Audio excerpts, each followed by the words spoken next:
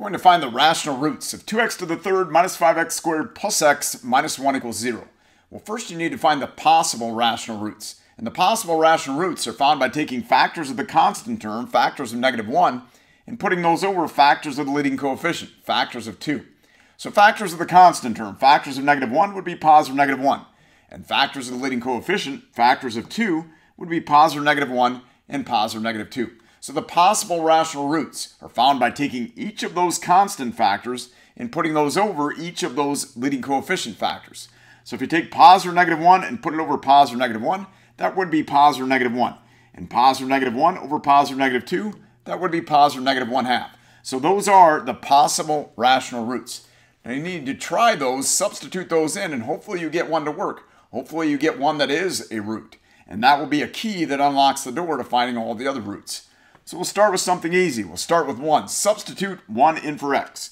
So if you substitute 1 in for x, you end up with 2 minus 5 plus 1 minus 1. That's not equal to 0. So 1 is not a root. Need to try something else. Let's stay positive and try 1 half. If you substitute 1 half in for x, you end up with 1 fourth minus 5 fourths plus 1 half minus 1. That's not equal to 0. So 1 half is not a root. Need to try something else. Let's try negative 1. So if you substitute negative 1 in for x, you end up with negative 2, minus 5, minus 1, minus 1.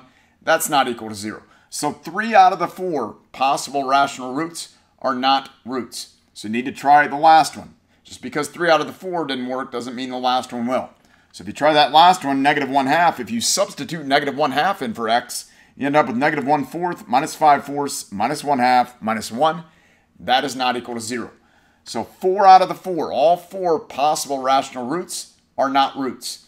So what does that mean? Well, it still has 3 roots. Based on that degree, the degree of 3 still has 3 roots.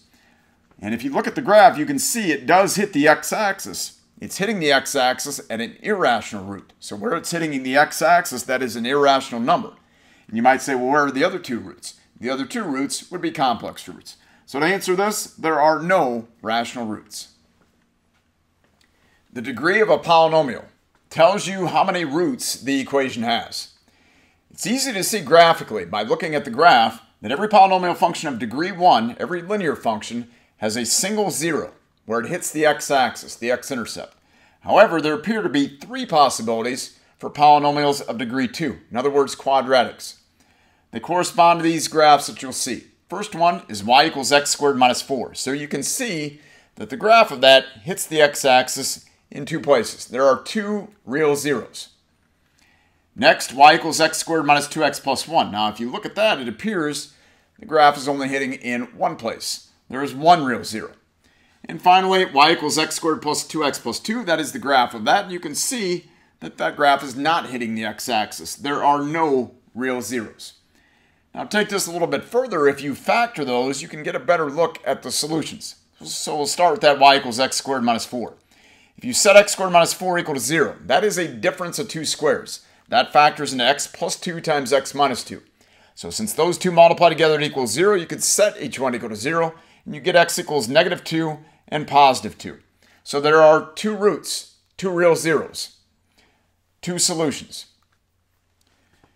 This y equals x squared minus 2x plus 1. If you factor that, the x squared minus 2x plus 1 factors into x minus 1 times x minus 1. Those two multiply together to equal 0, and if you set each one equal to 0, you end up with x equals 1. Now that has a root of multiplicity 2. In other words, the 1 will show up twice in the list of solutions. So there are still two zeros. And finally, y equals x squared plus 2x plus 2. It's a little bit complicated to factor this. It factors into x minus the negative of 1 plus i times x minus the negative of 1 minus i. If you set each one of those equal to 0, set x minus the 1 plus i equal to 0, and x minus the 1 minus i equal to 0. And solve those for x, you end up with x equals negative 1 plus i, and x equals negative 1 minus i. So those are two imaginary solutions. Now it still has two solutions. So the degree will not lie. The degree of the polynomial will tell you how many solutions you'll get, whether it's two complex roots or two imaginary solutions, whether the multiplicity is two, where you have a solution that shows up twice, or whether you have two real solutions. The degree of the polynomial will tell you how many solutions you'll get. Every quadratic polynomial equation has two roots. The degree is 2. You're going to get two roots. They may be complex roots, they may be roots with a multiplicity of 2, or they may be two real solutions, but you're going to get two roots if the degree is 2. Every cubic polynomial equation has three roots. The degree is 3. You're going to get three roots. The fundamental theorem of algebra states that if p of x is a polynomial where the degree is greater than or equal to 1, so n is the degree, it's greater than or equal to 1, then p of x equals 0 has exactly n roots. In other words, it will have exactly the number of roots that the degree is. So if it's a quadratic where the degree is 2, you'll have two roots.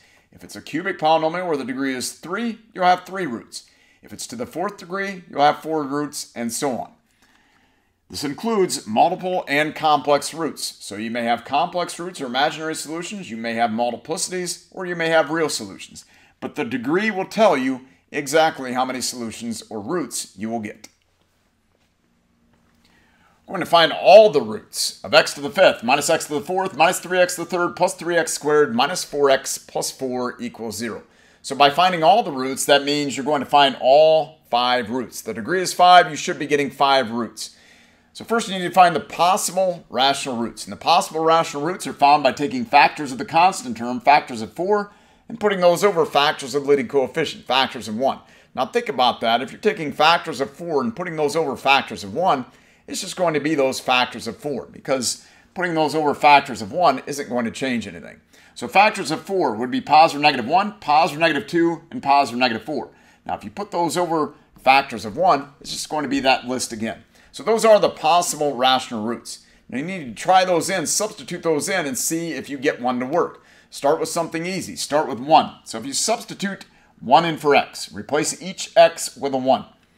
If you substitute 1 in for x, you end up with 1 minus 1 minus 3 plus 3 minus 4 plus 4. That is going to be equal to 0. So that means that 1 is a root. And since 1 is a root, think of synthetic division, synthetic substitution that we've done before. Since 1 is a root, that means x minus 1 is a factor.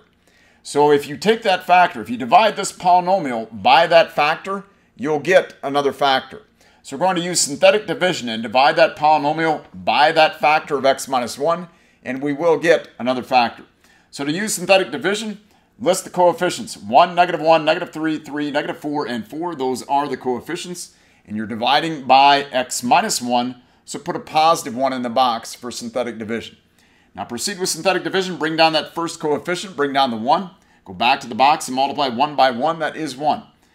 Then add negative 1 and 1. That's going to be 0. Go back to the box, multiply 1 by 0. That is 0. Add negative 3 and 0, that's going to be negative 3. Back to the box, multiply 1 by negative 3, that is negative 3.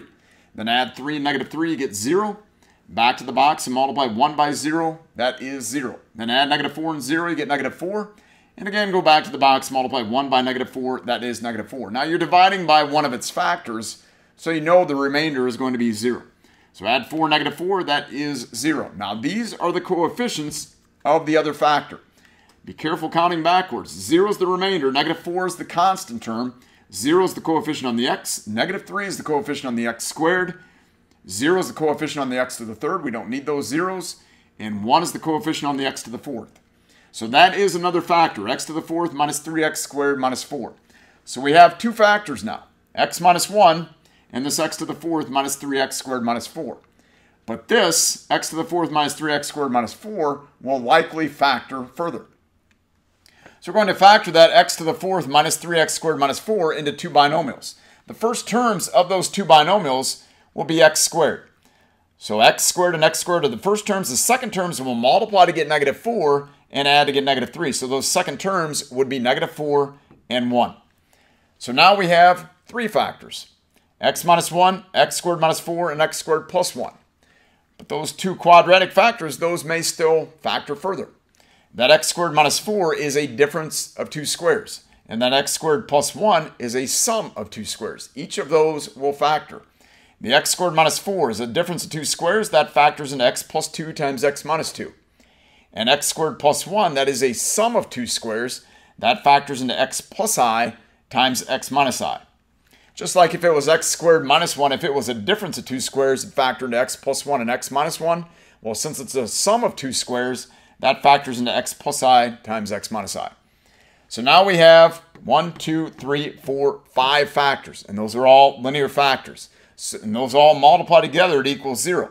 So if they all multiply together, it equals zero. That means we can set each one equal to zero. If you set x minus 1 equal to 0 and solve for x, you get x equals 1. If you set x plus 2 equal to 0 and solve for x, you get x equals negative 2. Set x minus 2 equal to 0, get x equals 2. If you set x plus i equal to 0, get x equals negative i. And set x minus i equal to 0, get x equals positive i. So we were looking for all five roots. There they are. The five roots are 1, negative 2, 2, negative i, and i. Two of those are imaginary roots, and three of those are real roots or real solutions. So two imaginary solutions, three real solutions. Those are the five roots.